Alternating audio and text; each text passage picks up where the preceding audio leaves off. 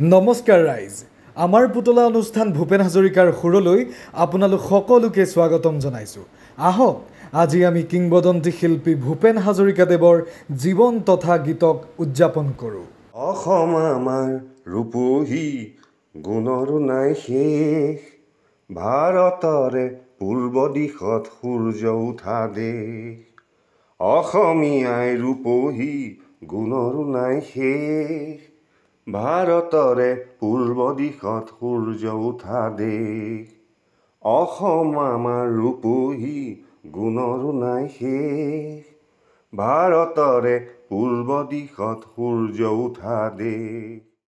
ভূপেন হাজৰিকাদেৱৰ জন্ম হৈছিল ঊনৈছশ ছাব্বিছ চনত অসমৰ শদিয়াত।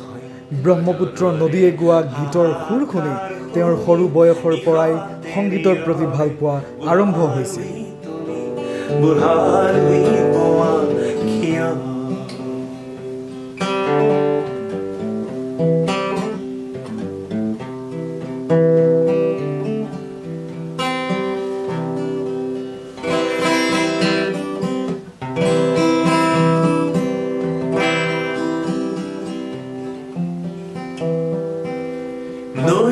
নৈতিকতার স্খলন দেখিও, মানবতার পতন দেখিও, নির্লজ্জ অলক ভাবে বুয়া গিয়।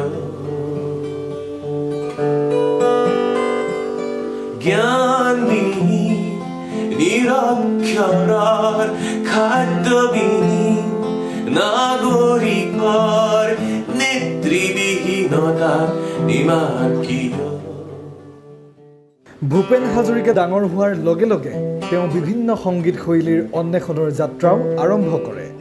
মই এটি যাযাব মই এটি যাযাব মই এটি যাযাব মই এটি যাযাব।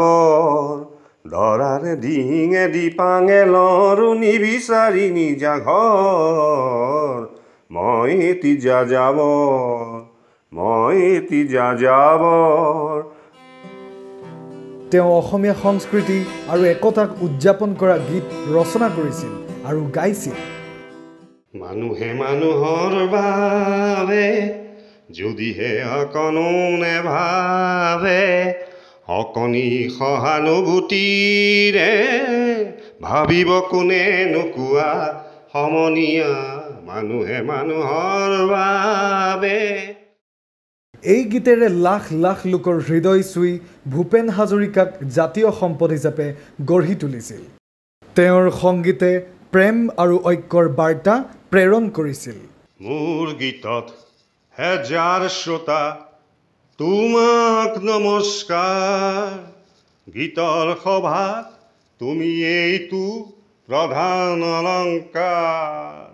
মোৰ গীতত হেজাৰ শ্ৰোতা তোমাক নমস্কাৰ। গীতৰ সভাত তুমি এইটো প্ৰধান অলংকাৰ।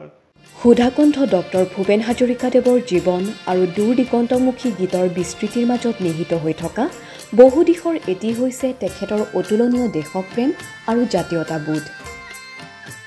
সৰ্বসাধাৰণৰ কথাৰে সমাজৰ বাস্তৱ ছবিক প্ৰতিফলিত কৰা ভূপেন হাজৰিকাদেৱৰ গীতসমূহত পোৱা যায় আপোন মাটিৰ আপোন গোন্ধ। কহুৱা বন মোৰ অশান্ত মন আলফুল হাতেৰে লোৱা সাৱতি কহুৱা বন মোৰ অশান্ত মন আলফুল হাতেৰে লোৱা সাৱতি এটি এটি ক্ষণ যেন মুকুতাৰে ধন। এনে হেৰুৱালে নাহে উভতি কহুৱা বন মোৰ অশান্ত মন। আলফুল হাতেৰে লোৱা সাৱতি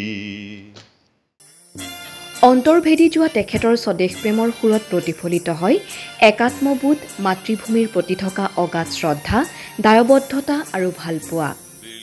সেয়েহে সুধাকণ্ঠৰ দেশপ্ৰেমমূলক গীতৰ গভীৰতাই অসম বংগ ভাৰতৰ আন প্ৰান্তৰো পৰিধি নেওচি বাংলাদেশকে ধৰি বিভিন্ন দেশৰ জনতাৰ অন্তৰ চুই গৈছে।